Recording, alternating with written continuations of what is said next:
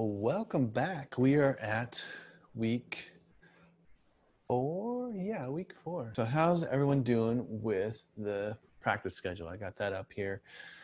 And um, yeah, you can let me know. Shoot me an email or you can say something in the comments. It would be great. And because um, it, it, it does actually work as long as you put it to use. And it's a it's a very helpful tool to get somewhere. I know everyone's pretty busy doing um, working a job or taking care of family that um, you know, not always have a lot of time to work on practicing.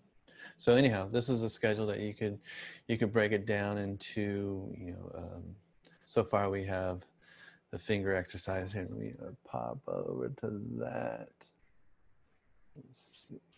Yeah. So we're doing the you know I would say you know maybe five minutes on the on the finger exercise. I'm going to call the pentatonic. So let me um, throw sort of a metronome. Let's see. Metronome about, I think we talk about 80, but it doesn't have to be there. Um, I think that's a good place to start though.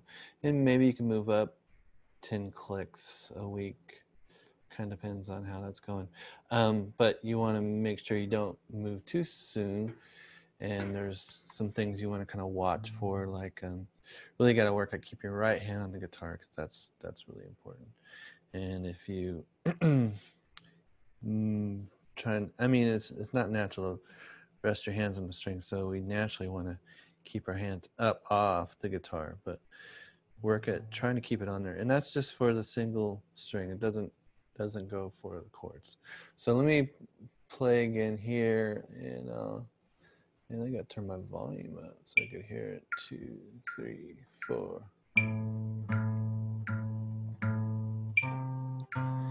Big stretch. Put my fingers right next to the frets.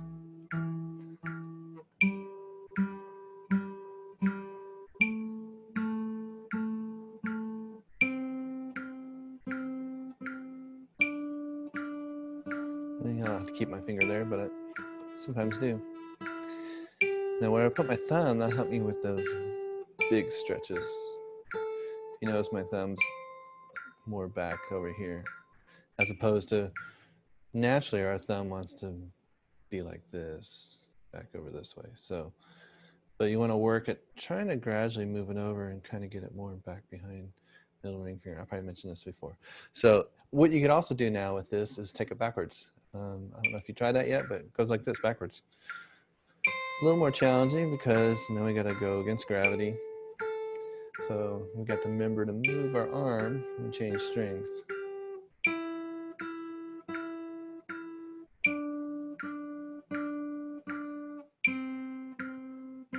Hopefully I'm going slow enough that you can play along with me. If not, it's okay. Maybe I'm too slow.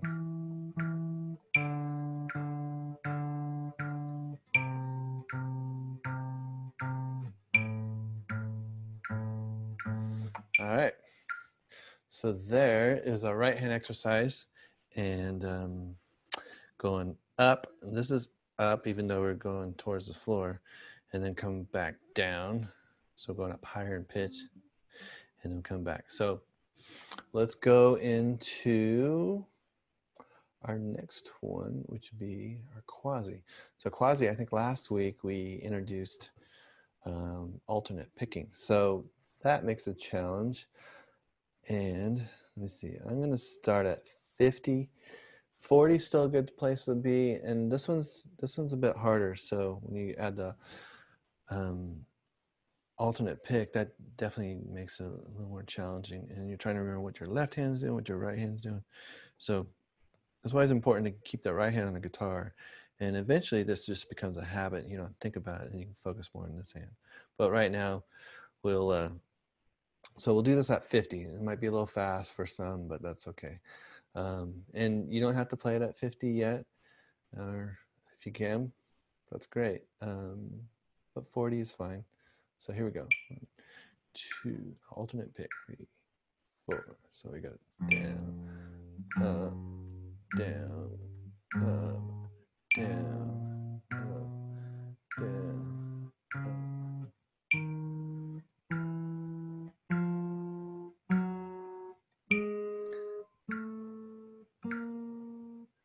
Trying to keep all my notes connected. Long notes, legato, another term. Get ready to go up one fret. Go back.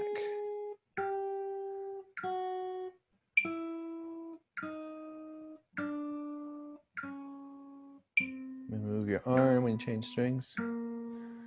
Hold on to that note and then put your pinky up there. Move your arm.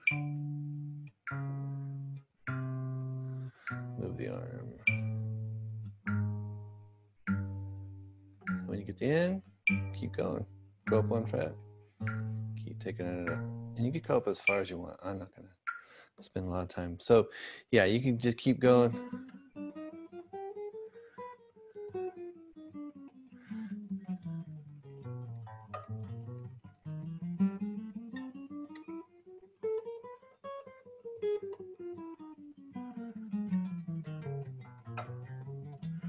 Probably whatever feels comfortable. Usually somewhere around here. You start going backwards, backwards like this. So basically, instead of going up one fret, you're going down one. Still odd number of frets. So every time I get to the end, I go down one. Down is towards the headstock lower in pitch.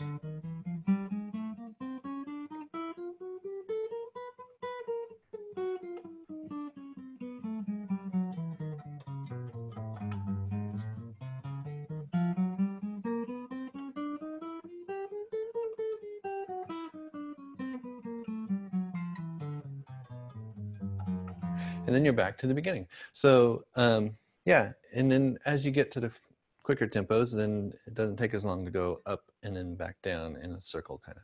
So um, try if you feel pretty good. And It's like, oh yeah, try going back down. It'll probably take you know, five or so minutes, but that's not a bad idea. This is probably the most challenging one of the two exercises, and but it's the most beneficial too because um, it's going to help out coordinate your fingers and your right hand picking the the right correct string and finger. And so um, I would say if you were going to do one or of the two, the tremolo or quasi, I would say spend more time on the quasi because that's the one that's going to you're going to benefit the most from.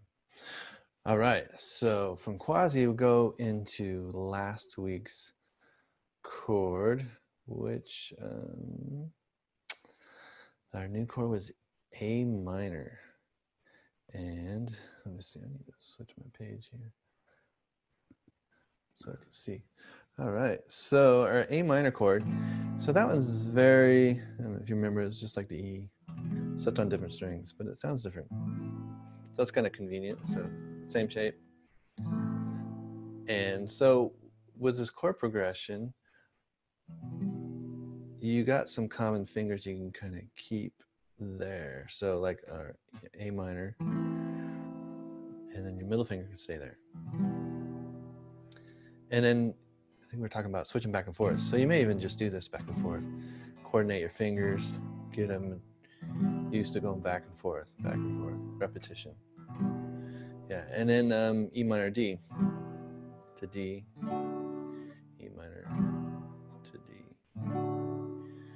you go D to E.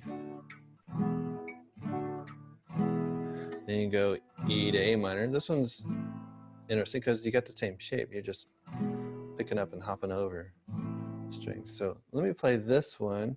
I'm going to do it at 60, um, but we're going to do the chord progression A minor, E minor, D, E. And here we go. Two, three with the strum.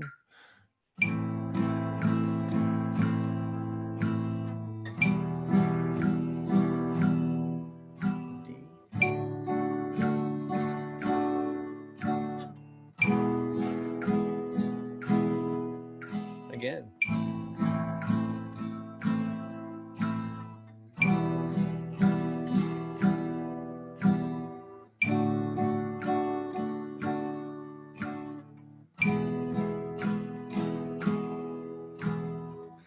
All right, so that was last week at 60. And um, so we have a new chord, which you already see. So speaking of C, let's go to the chord of C. So C is a very common chord.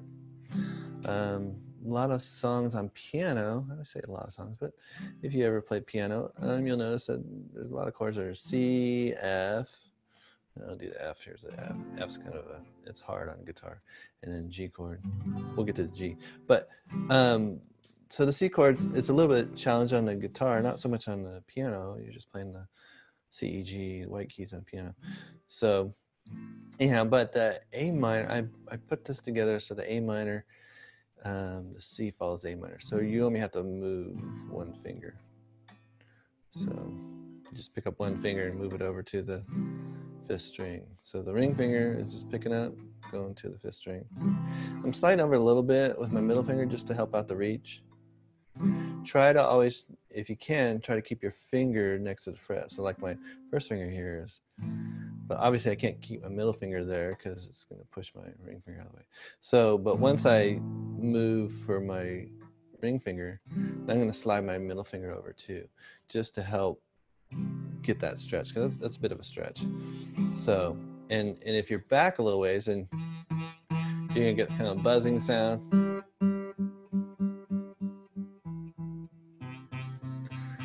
So there's my, you know, and that's because I'm not next to the fret. So if I get next to the fret, especially these bigger strings too, you want to not work so hard at pressing down and killing your fingers, and then then you end up your fingers are sore.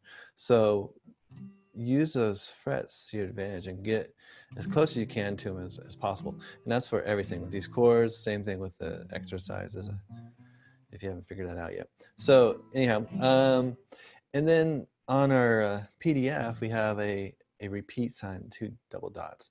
And I've been repeating most time anyways, but so anytime you see music with two dots at the beginning and the end, you just play it twice. And that's just kind of an easier way of um, letting the performer know what's what's going on. So let's do this. I'm to slow down to 50 since it's a new chord progression. And let's do this 50 and here we go. One, two, three, four.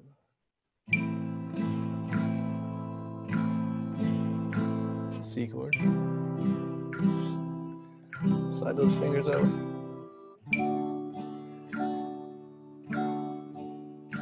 E. I'm gonna repeat this and play A minor.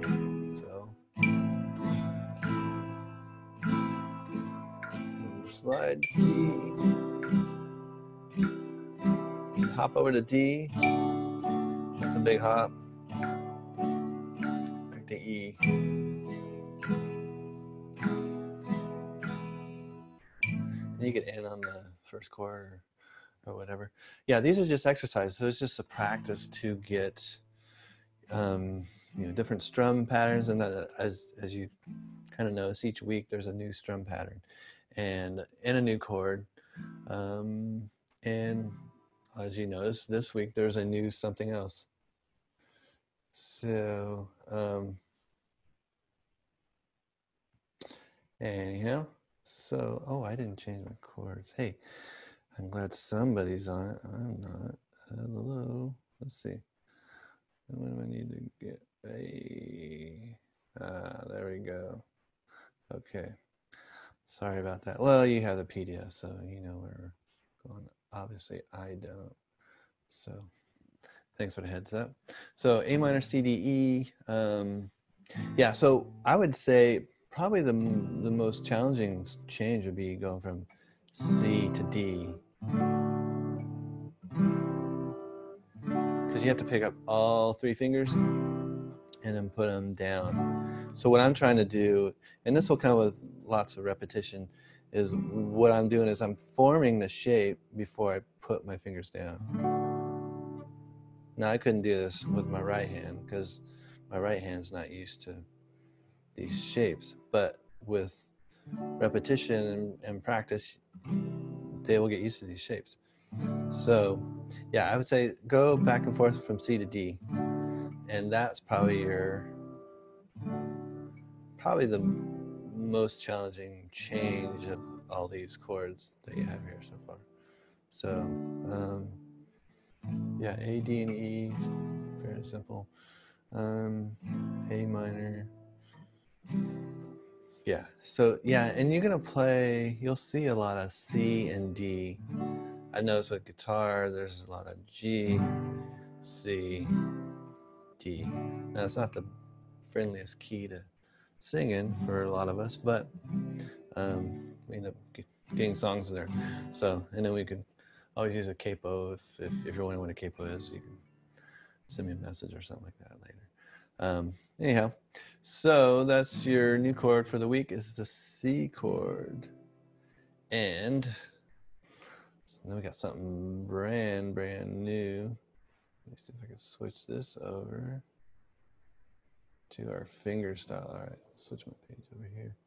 Okay, so finger style now, lose the pick. So I put my pick down here and could have written some more directions on here, but basically I'll explain here. So the P is, and this is in Spanish, P I M A. So P is thumb, I is the index, and the M is middle, and then the A is ring. It's all in Spanish. You could look those words up. I won't try to pronounce them because I'll terribly mess them up. Anyhow, so what we're doing is we're using, we're not using the pinky. So that's, so we only have to worry about four fingers. But the challenge with the finger style is, is it's now it's all right hand. So your right hand is doing all the work. I'll see if I can, um,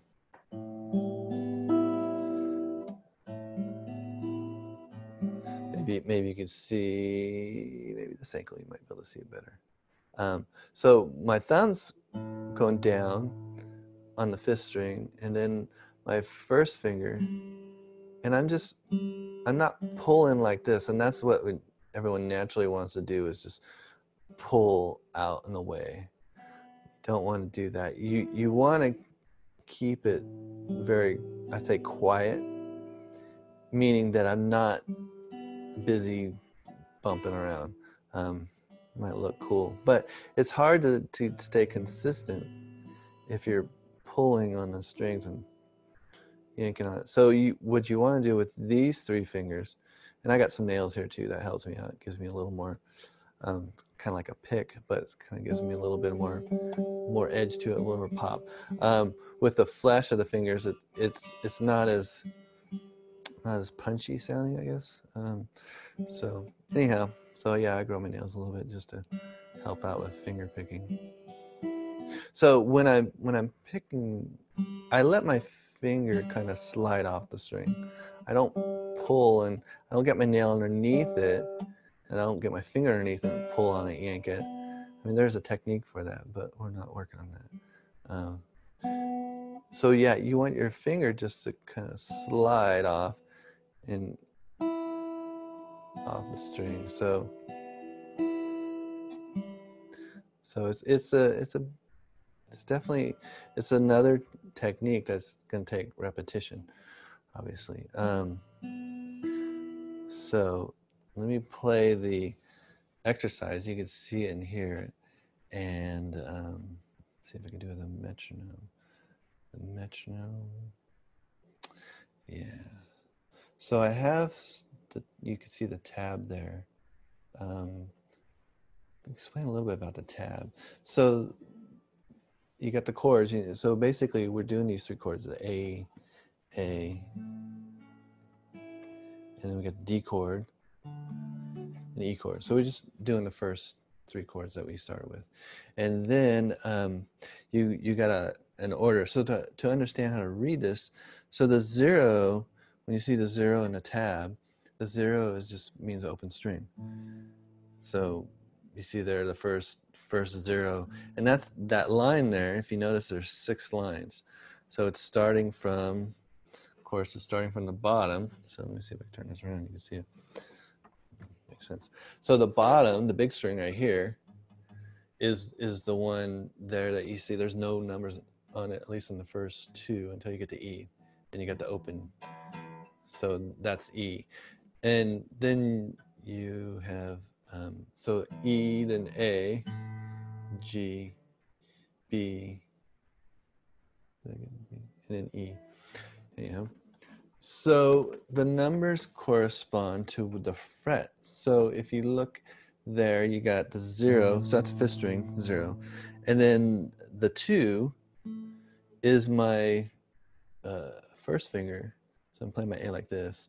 My first finger is on the two third string. So you got a zero, two, and then you got another two, which is my third finger.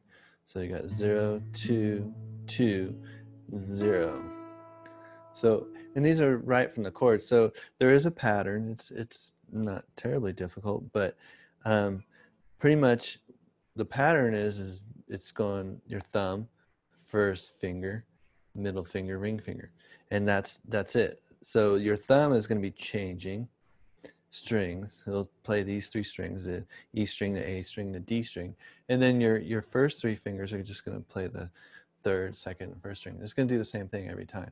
So it makes it a little more easier, but still, it's it's you're still training your right hand how to hold these um, these shapes that are or play these do these things that the fingers have never done before. So um, let me try with a metronome. I'm gonna say, all right, if I put at 60, and it's gonna be per note. It's not gonna be in time. So if I do notes, and four string, then change into the D, then go to the fifth string, and here I'm going to jump to the E, and then the fifth string, and then the A, same thing at the beginning.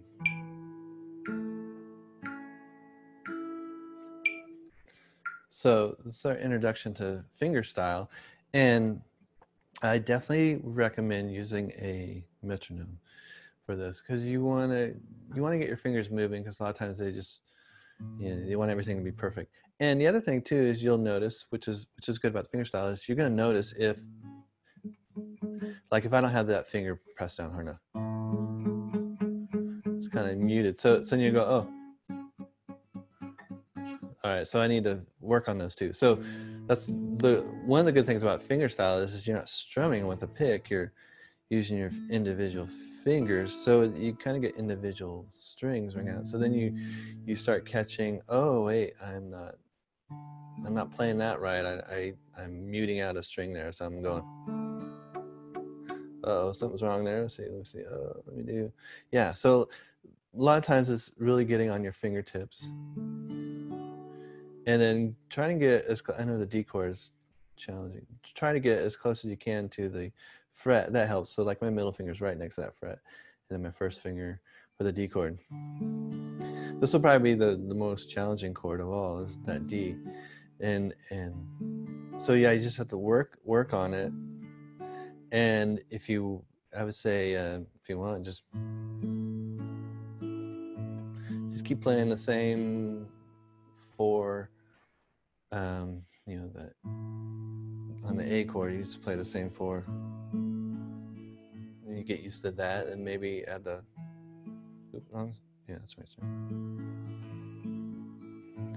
And you go back and forth between those strings.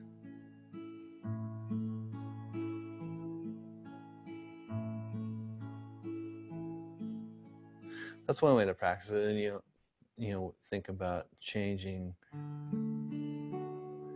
and then you know you could just work on each group of eight notes there individually.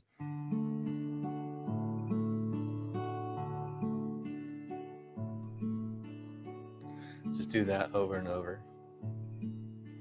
Now with a metronome i know i was at 60 so and you could probably even go with 50 it's fine.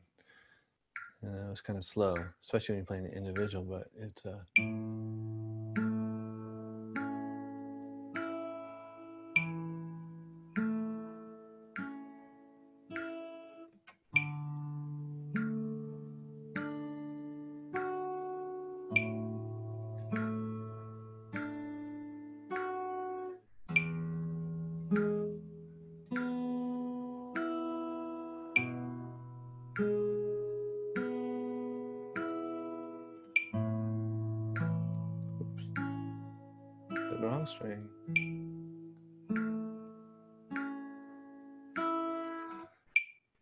So you notice with the E chord, you don't play the fourth string at all. So you could, if you want, and if you notice when I went to the E chord, um, I really just got my first finger there because that's the second note. And then I can put my middle finger up there. And then, so I don't have to put all three fingers down for the E chord. So there's a little bit of a shortcut, um, but you could, yeah, you could just leave that ring finger out if you like, and that'll get you through it quicker. But um, the challenge would be is um, with them with the open strings, which is which is great. That gives you more time to get to the chord. So you don't have to have all your fingers down when you start, and that's what we tend to do. Is we want to go um, and make sure we get all our fingers there, and then we go. So, and you want to get as soon as possible away from looking at your right hand and just playing by feel. So you just have to practice not looking. And just what I do, I just I visualize, okay, um, that's the right string. Especially when I'm looking at music, I, I, I can't keep my eyes on my hands and the music all at the same time. So I have to be able to play by feel. And that's, again, it's muscle memory, um, repetition over and over. All right, so that is your your work for this week, and uh, you know metronome setting. You know, for this one, it could it could be anywhere. It could be forty to fifty. Um, if you're feeling like uh, I'm feeling pretty good, let me see if I could do a hundred. Okay, so this will be a hundred because I'm doubling it. So it'll be like this. So.